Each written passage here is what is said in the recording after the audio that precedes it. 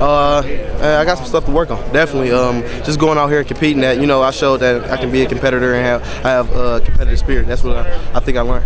Uh, I can do it all. I can play inside, um, cornerback, you know, nickel, uh, and play it outside. So that's definitely want to show uh, scouts that I'm versatile. I can do both positions. Uh, just it's really just adjusting and being accustomed to the speed of the game. Uh, that's really what it is. And I'm pretty sure every rookie has that. You know, that one of those speed bumps. But um, I'm pretty good. I'm pretty sure I get used to it. You know, first two days, you know, you, you won't be as comfortable, but just go out there and, and, show that you can go out there and compete. But that's the that's the main thing. Uh, everything, you know, just the meetings, stand up in the meetings, and, and, and, and getting those notes, writing down notes, um, and, and, translating to the field, and uh, coming out here and, and playing with game speed and, and, going out here and working. So that's really what it is. Uh, Coach Harbaugh, definitely. Uh, everything that he comes up with, you know, just he's so creative. You know, um, it's just everything that he does, and just it's, it's just amazing to see the things that he's doing for the program and for the and for the um, for the, the, players. You know, they're going to Rome this uh, spring, so it's just amazing see what he's doing. Uh, I mean, I, I talked to you know a few teams, but uh, it's all good stuff. You know, uh, they, they want to see what type of character I have, which is pretty high, and they want to see what I can do on the field. Uh,